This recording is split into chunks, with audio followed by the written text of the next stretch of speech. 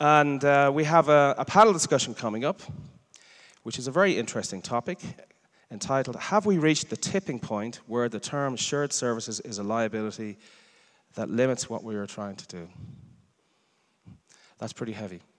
So, um, it gives me great pleasure to introduce a veteran of the industry and a seasoned performer at Shared Services at Outsourcing Week. At various stages, she has held senior roles as a consultant and practitioner of late. She has morphed into a thought leader and agent provocateur. Is that the right way I would say it? anyway, she's a great lady and she doesn't take prisoners. Ladies and gentlemen, I'll give you Deborah Kops.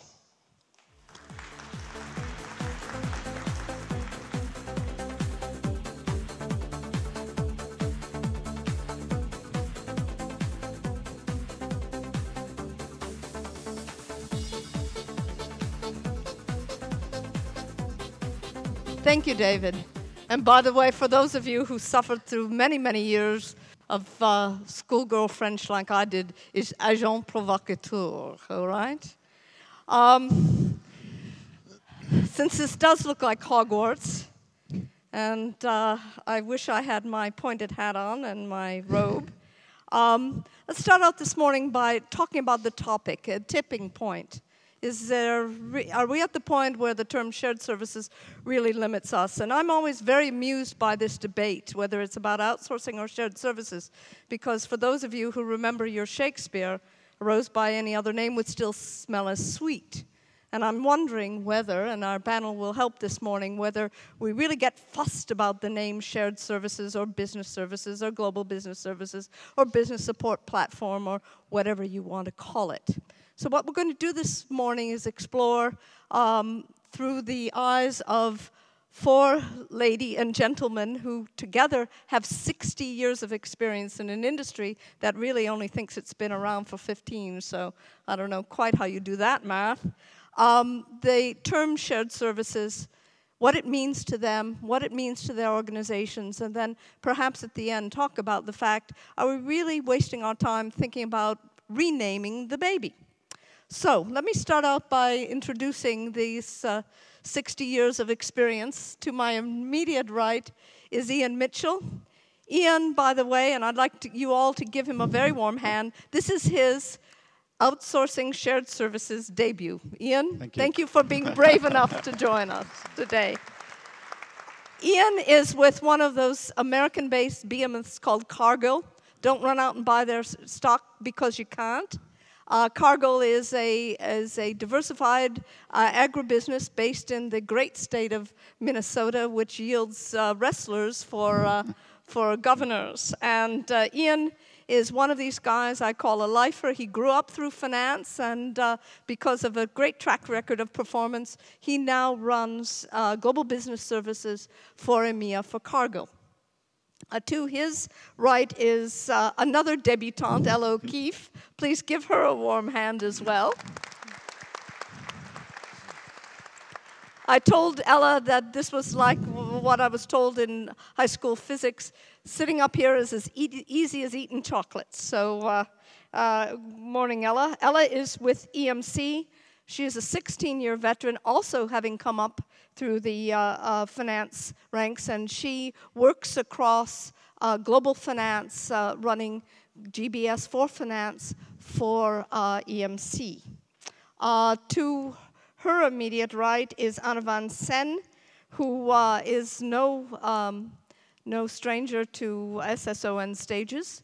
Anirvan was formerly the GE Global Process Improvement Leader and he has had the job of implementing uh, shared services, particularly in the finance arena, across the globe. He used to be tall and uh, um, blonde, but look what uh, GE has done to him. So he decided to run to the dark side and is now with Chazey Partners. And last but not least is a gentleman uh, also who is no stranger to uh, stage, Michel Dezou, who for a while would only work for companies that had Sys at the end of the name, Unisys, Infosys, Philips, and now Siemens. And he is one of these people who can truly stand up and say, I run a global business services operation. So, uh, today's panel. Let's start out by, I'd like, uh, I'll, I'll throw this open to whoever wants to catch the ball first. How is, for each of you, how has the shared services function actually changed in the last five years? How do you define the model today in your companies as opposed to a couple of years ago?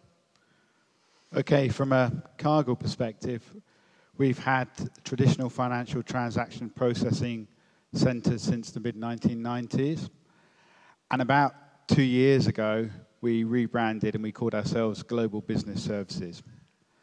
And surprisingly, or maybe unsurprisingly, nobody came knocking on our door to move extra and new work into, into GBS just because of a name change. So, what we've had to spend time on in the last 12 or 15 months is really developing our brand and improving our profile and also changing our delivery model so that now I believe we can really create a compelling business case. And we're now already seeing the seeds of change, and we're getting a lot of interest from business units and functions within the company to move new work into GBS. So, very exciting times. Shared services, to me, explains exactly what we do, but I really don't think it stresses positively enough the value that we can bring to an organization. So I'm open to any ideas and suggestions on, on how we change our name. So may learn something over the next couple of days. So GBS just didn't do it for Cargill, did it? Not, not straight away, not just the name changes, everything else that has to come with it. Yeah, if I can uh, pick it up, I mean, this, the evolutions and the changes I've seen in the past uh, more than five years, maybe 15 actually, uh, is uh, you know this change and move from uh, transactional to expertise, from regional to global, um, and and uh, also from uh, looking at um, uh, our services much more as solutions and services versus just processes and transactions. And I think it's where I'd like to see shared services evolve to, is that we're not focusing just on uh, transactional and improving transactional processes, but in providing solutions uh, to the business that are relevant for them. Does GBS work in your organization? Do, do your businesses understand not only the, the delivery, but also the value that GBS brings? Uh, I would say we're currently more of a multifunctional uh, organization, uh, not truly cross functional, if GBS means cross functional. Uh, so we still have some uh, room uh, for, for improvement and, and for change. I think we're still in that phase where we're uh, harmonizing our processes and, uh, and uh, getting them more uh, effective, more efficient. Not yet in a stage where uh, we're taking all advantages from a GBS organization in terms of the scope of activities. We're taking advantage of it in terms of support functions, tools, technology, so workflows, case and order, uh, tools, ticketing tools that are standard across the organization in terms of quality management that's standard across, uh, but not really in terms of the solutions yet.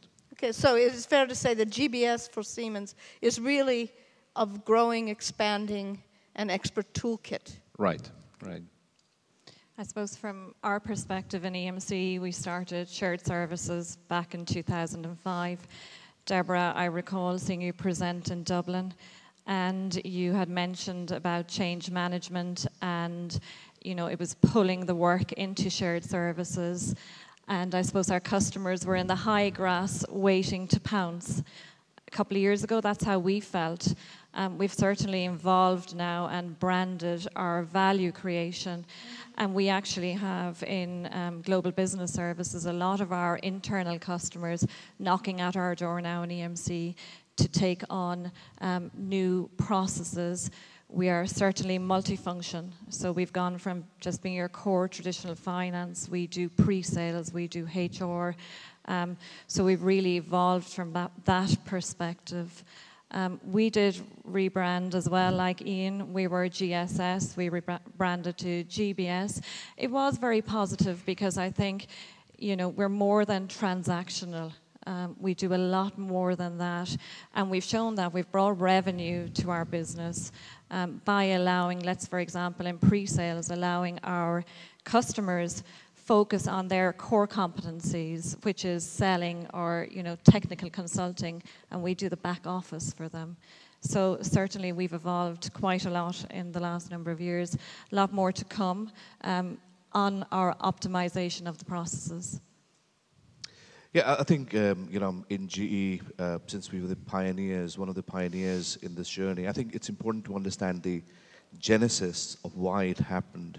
Uh, you know, uh, on one side there was a shortage of technical resources in the IT world, and people started looking eastwards, uh, more towards India, to start acquiring some of those skill sets. You know, first to you know start looking at the Y2K gap, etc. On the other side, you know, as GE kept growing in newer and new markets, uh, there was a need to have certain functions which were provided by corporate. So it was an expansion of certain corporate functions to allow support to these centers. Over a period of time, as as the company got scale, we started looking at options of creating a setup in India called GE Capital International Services, which now is known as Genpact. And they started picking up work, uh, more functional work from different GE businesses. And then on the other side, GE uh, kept, uh, started outsourcing work to different uh, technology vendors. And then the entire naming and renaming started. You know, Global Sourcing Organization, Employee and Financial Services, Global Business Services. But as we, you know, come, you know, as we come to this new decade, you know, GE realized that, you know, we have done enough of these naming, uh, and, and what does it mean? You know, we, we are a part of shared services, but that kind of does not reflect to what we want to be. At the end of the day, this global business service or shared services was still largely part of the corporate organization. It still held firmly the compliance and, and controllership commitment that GE had on the ground. So last couple of years back, um, again started experimenting with a new concept, and, and we call it the Global Growth Organization, GGO, and we have renamed the GBS as Global Operations. What we've done is instead of having one global headquarters, we have now moved to kind of a two headquarters, one in the uh, Americas, one in the non-Americas. But we have not kept the traditional headquarters in Hong Kong. What we've done is we've divided the rest of the ex-Americas market into 13 GE headquarters. And each of the 13 GE headquarter corporate function has global operations embedded into it so that we can, uh, let's say, uh, take out the boundary walls and start getting into things which we have not conventionally gone in. I mean, we have started doing work for capital markets. We have started doing work for uh, the, the projects, you know, the, whether it's the uh, oil and gas installations, whether the energy kind of. So that's the kind of uh, evolution we see uh, moving on from purely the transactional-based shared services to a lot more enabling function for an organization to grow. That, that brings up a good question, and Michel and I talked about this in preparation for the meeting. What's really being shared in shared services? And if you think about what Anirvan just said, he said that that you that GE is moving to a boundary, boundaryless organization. When you share, you have some boundaries. So I'd like to throw it out to the panel. What are you actually sharing in shared service? And it, does that, um, does it mean that there's a construct of an artificial boundary that gets in the way of the business moving on? What's shared, Michel? Well, if I take it, uh, you know, I don't think the word sharing uh, helps uh, in any ways shared services. I think, uh, you know, it's not maybe a liability, but, but it doesn't help because uh, I think uh, you know our customers are happy or are ready to provide us or to ask us to, to do more, uh, not because we're shared or we're sharing something, but because we're adding value to them by um, you know leverage, leveraging scale, by leveraging a global footprint. Uh, we're also by being customer focused, by um, by and and I think above uh, everything by showing them that once we take service, uh, we transform it and make it better for them. And I think that uh, focus on transformation, on providing solutions to them, uh, I think is really what, um, uh, in the end, they, um, uh, they remember and why they would uh, come to us for new services. Yeah, I, th I, think you bring about a very good point. I mean, I'm jumping in here. Um, about the whole sharing piece, you know, I think the, the sharing of liability is a great example. I mean, who, where does it own? And I think uh, a lot of the piece started happening because it was a shared legal entity under which services were provided to different businesses, especially in GE. And probably the word came from the shared legal entity. Uh, but as we move along, uh, I think it's very important to see that it's no longer sharing, but actually a business proposition. You know, we're not just saying we share, we actually provide services, a certain kind of services. And that's the way it should be treated. I think shared services probably needs to change the name. I think with shared services, it implies to the business units or the functions that they're giving up an element of control. And I always remember very early on in my, my career in Cargill, a very senior manager pulled me aside and he said, Ian, he said, there's three things in our company that everybody's got an opinion on. And not only have they got an opinion on, but they really strongly voice their opinion. One of them was the travel policy, second one was company cars, and the third one was office services. Well, a few years on, I'd like to add a fourth one, which is shared services. Because whoever you talk to in our organization always has an opinion on it. They have an opinion as to whether that particular activity is suitable to be shared. And if it is suitable to be shared, whether it should go to captive or BPO. And if, then if it goes to a BPO, which BPO and which country should it be in? So there's a lot of concern out there from the areas where you're moving the work from and into GBS. And the only way that I found, and I don't know what the other panelists have found, but the only way I found to overcome that is through open and regular dialogue with the areas where the work is moving from. And they, they need to be involved in that journey from the start, from the planning through departure to arrival. And the more trips they take with, with you in the car, then the more comfortable that they will become that they know that you know exactly where you're going and how you're going to get there, and then the less that they will want to be involved in the future. Yeah, yeah I think uh, you know we're, as you said, we're an internal service unit, and uh, it, it may be uh, uh the view of this may be a little bit different by function or by service.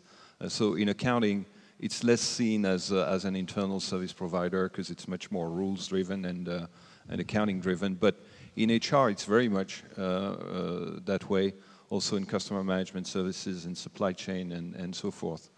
And I think uh, you know this setup as being a service unit is is uh, what people will like. They want to see that uh, we're responding to them, that we're uh, responding to their issues, that we understand their issues. And um, you know, I, I, try to meet with uh, the businesses within Siemens regularly, and meet with CEOs of uh, regions and so forth. And and it's amazing the, the feedback they can give. They, they always have very strong views on us uh, having to uh, um, uh, bundle services much more or to look at services much more in a holistic way. I'll give one example about travel. Uh, you know, they're not interested. Travel is very complex nowadays with visa issues and rules and new statutory regulations and regulatory uh, uh, things. And we have uh, uh, many tools. We have uh, booking, we have business travel authorization, where we check the visas and, and all rules. And then we have the, the payment system and, and the claim and payment. And, and all these sit in different functions. And it's a nightmare for, for the salespeople. And, there's, and plus, there are many different policies and so forth. So they're saying, look at it holistically. We want one tool. We want something easy for the people. And, you know, before we were happy with our reservation system is fine. We're delivering according to SLAs. Our uh, payment claim system is fine. It is good. But overall, it doesn't make a good solution. And, and it's not a solution that people like. Uh, so you got to think about your services. That's when I talk about solutions. You got to think about your services much more in holistic solutions than in isolation by function. Ella? Yeah, I think in the early days it's certainly shared, um, but then as you prove you're competent at it, your ability, you meet your results and your SLAs, you own it, it's yours, and we've very little engagement then from, let's say, our customers or the business. We report out to them, um, and they know it's in safe hands. So I suppose that's what's changed. I think where the sharing is, yes, from a finance perspective, if you're at the audit meeting and you're reviewing a map, or you know, as you're providing um, suggestions on how to optimize the process and you know looking at improving the intercompany process whatever that's where i see the sharing but ultimately it's um, gbs that move ahead and drive that optimization and own that and deliver it back to our customer So shared may not be the right word. Maybe the better word is safe services. absolutely All right.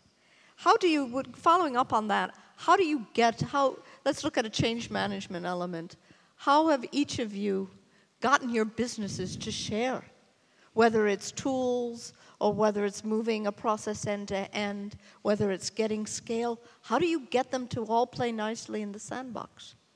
Uh, um, I guess um, uh, first thing is uh, calling it safe is probably uh, going to be controversial because uh, especially when we start operating in the emerging markets, you know, we start stretching ourselves uh, just to make sure that we are compliant rather than you know more more uh, virtues around compliant and controllership. So that's one. And playing it safe will may not work, you know, because you need to really stretch yourself. We're not saying do it, anything unsafe to you, which will cause you bodily harm, but being your, in your safe zone will not help you. So that's that's one. Um, to, to your question, um, you know, I, I think what's what's important is that one needs to look at how things are evolving.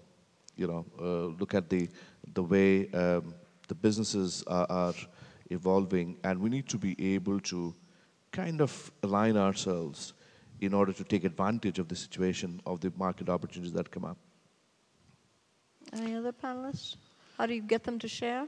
Uh, uh, so, you know, I think it's uh, it's exactly this. I think you really need to understand uh, what is um, uh, their issues, what are their issues, and how, with your capabilities, global footprint, um, transformation capabilities, and so forth, expertise, how you can support them in a better way. But it's um, really about understanding their business and making sure that you're talking to them in in a business-oriented way, not not just uh, you know um transactions-oriented and so forth.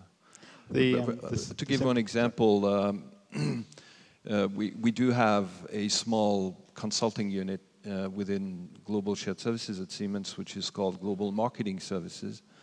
And uh, what they do is they help businesses um, with their uh, customer activities. So we implement net promoter score methodologies, for example.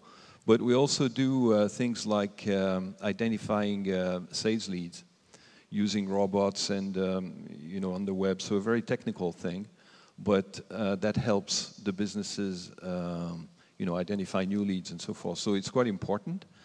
Uh, but we got that uh, ID by engaging with this uh, marketing group and, and uh, really understand, understanding their pain points.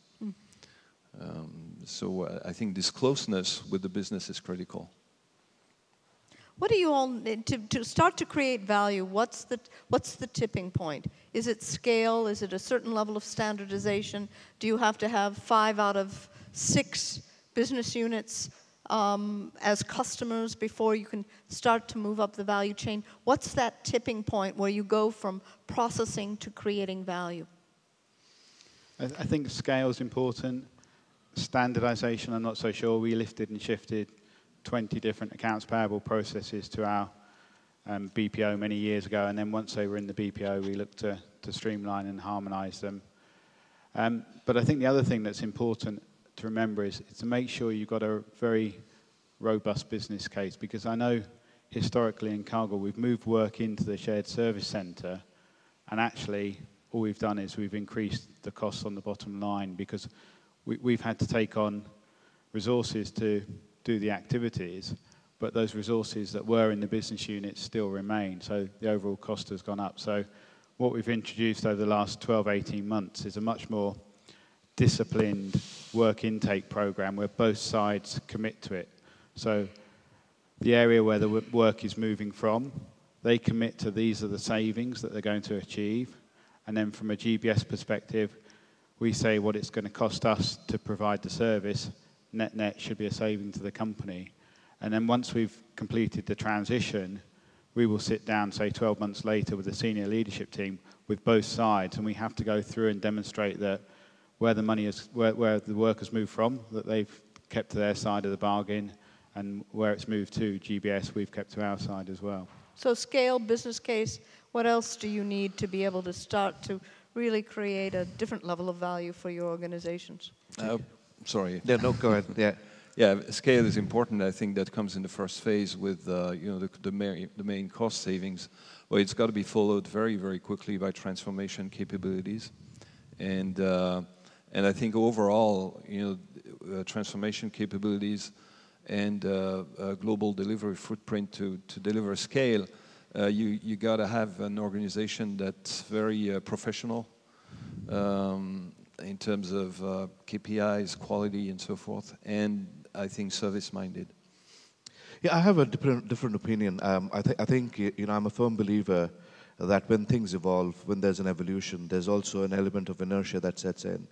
Uh, and, and purely to have a tipping point, just to keep evolving, does not necessarily put you or bring you to that tipping point. You know, evolution needs to be disrupted every uh, on a almost like a regular basis with new events, um, you know, without which there won't be innovation. There won't be things, uh, you know, those wild swings. And which is why alludes back to the point that I make.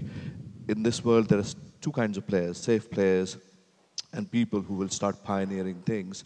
Uh, and that, therefore, for me, the tipping point essentially is more the market reality. Because at the end of the day, we are, uh, tends to be a, a, shared services function, a back office function, a global operation function, whatever you call it.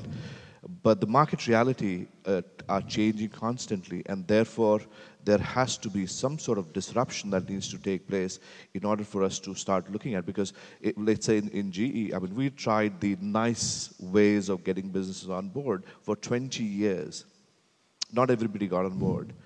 And that's when we had to change because because of not everybody was getting on board. And even this was both carrot and stick approach. It didn't work.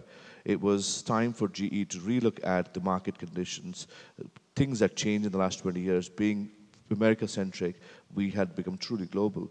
And that's where we needed to redefine the way the shared services started working. And, and the GE decided to take a big swing.